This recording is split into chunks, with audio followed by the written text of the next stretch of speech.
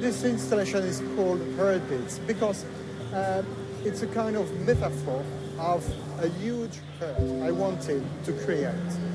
I wanted to create this huge heartbeat to connect people with the past, with the memory of this place.